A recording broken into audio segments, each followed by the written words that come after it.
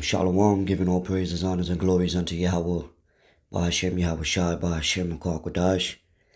Double honors to the apostles and the elders of Great Millstone who rule well that told me the truth, and Shalom to the sincere and hopeful elect, you brothers out there prophesying in the true name and the true doctrine about the times we're in and headed to. For the kingdom of heaven is at hand, and those that consist of the elect, the women and children, and helpers that believe. All right, and um, you know, Shalom, this Kodash Paya. As you can see on the blue letter, you know, I was looking up that word contrite. It's heavy because, you know, King David was in that spirit. And the Lord is, you know, a man, uh, he's a, he's a, he, he, he's to be feared, you know. And when you read Psalms 34 and 18, the Lord is nigh unto them that are of a broken heart, and saveth such as be of a contrite spirit. Right? And then it tells you in Psalms 51 and 17 the sacrifices of God are a broken spirit, a broken and contrite heart, a God thou will not despise, right? A basic Google search is what feeling or expression, expressing remorse or patience affected by guilt and you know see people in the world they don't find it uh, remorseful to not want to commit adultery anymore. They don't find it remorseful not eating these abominable foods. You know i was talking to somebody about the other, that other other day and they just didn't care and it shows that one, they don't fear, two, they don't believe. And if the Lord is really dealing with you, supping with you through the Spirit, He'll bring you through trials and tribulations.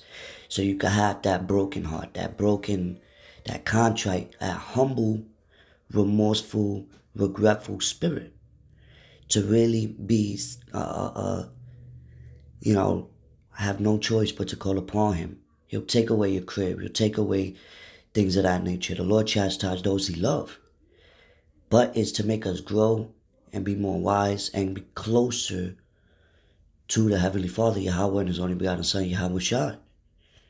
Why? Because the times we're coming to, people are not going to understand. They don't understand that everything's happening prophecy. The Lord is dealing with men first and allowing them to understand, look, you're being go- uh, tried as gold in the furnace you know, be even as pilgrims in that day, right? And King David was remorseful for what he has done. You see? When you go into Psalms 51,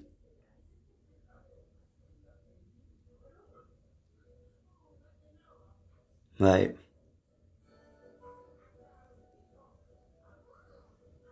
It tells you in in verse 11 says cast me not away from thy presence and take not thine holy spirit from me. You know so you want the lord to keep that spirit in you even though you the lord puts you through circumstances to grow from it. You know?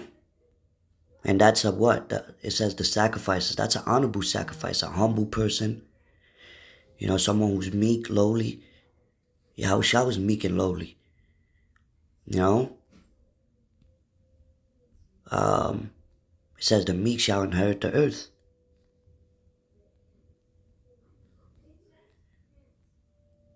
To be crushed, collapse. You know, and that's, you know, just speaking in spiritual. Right? The Lord would take, a, take away, take you away from this world to get you closer to Him. Meaning the things of it. Um, let me get a scripture. Now let's get the book of St. Luke chapter 18, verse 9. When Yahweh was speaking about a parable. The parable of the publican and the, the Pharisee. It says, Salakia. It starts at verse 9. It says, And he spake this parable, certain which trusted in themselves that they were righteous and despised others. So you got just like the, the wicked scribes and Pharisees. They what? They trusted in themselves and they despised others. People that needed repentance. People that, you know, were sincere. People that they looked down upon. Right? Two men. And we're not here to trust ourselves, man. We're, we're, we're nothing but vessels. We need the Lord. The Lord don't need us. He could raise up stones to prophesy.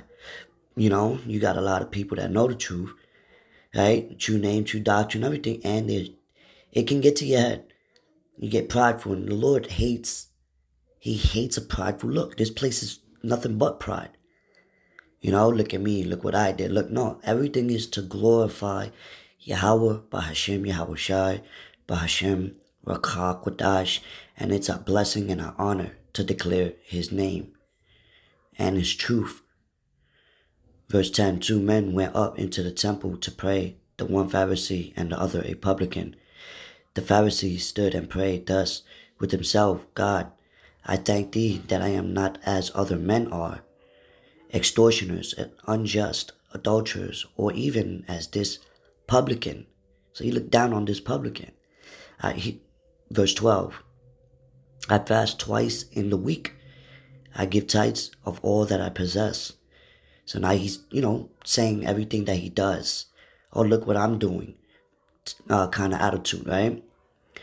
And the publican standing afar off would not lift up so much as his eyes unto heaven. So the publican didn't even want to look up to the heavens, to the sky. You know, he had his head down. You know, that's how humble he was.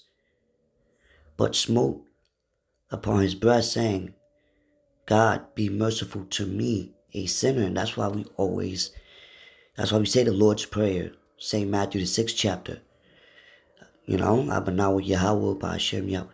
Abanawa Shabbat Shemayim Kuda Shaya Shemka Yahweh Malakwatka Taba'a Ratazaka. And Lord willing, you know, that's that's Hebrew, but that prayer tells you, you know, Lord, you know, our Father which is in heaven, holy be thy name, thy kingdom come, thy will be done. And you tell him, uh, you're begging to the Lord, you're pleading with him, forgive me. You know? Um, just like when King David, you know, Lord, please forgive me for what I've done. You know, you're pleading. You're pleading with him. And right now is the time to plead unto him as much as you can. You know, Lord knows your spirit, man. But we're not out here boasting of ourselves. You know? I tell you, this man went down to his house justified. So the Lord justified him, the publican, rather than the other. For everyone that exalteth himself shall be abased, and he that humble himself shall be exalted. And that's the point. Like the scriptures in Sirach tells you that the one that was never thought of. Every uh, um yeah, the one that was never thought of had worn the crown. You know, the scriptures also say the first shall be last and the last shall be first. We don't mind being last in this place. Let everybody be known and everything here is corrupt. You know, we're supposed to store our treasures in heaven. We're supposed to have faith in Him that He's gonna grant us through our prayers and everything we need. You know? For everyone that exalteth himself. We're not exalting ourselves. You know, let the Lord justify you in due season. You know? Hold thy peace and let the Lord and the Lord shall fight for thee, as the scriptures say. And he that humble himself shall be exalted and you know, Lord will put you through things to, to put that real humble, you know, spirit on you. Really be remorseful for what you have done. Reflect. We reflect on ourselves daily. Though our outward man perish, our inward man is renewed day by day. You know? And your spirit, we don't want to be in this earth no more, but we got to do what we got to do for the moment. And um, hasting in the day of the coming of our Lord. Wanting, wanting righteousness to be restored on earth.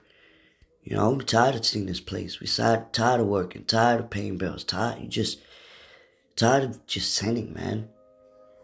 Just tired, of, sick and tired of being sick and tired.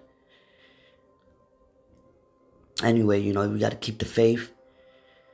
You know, he that humble himself shall be exhausted. With that, I hope this lesson was edifying. Till next time, shalom.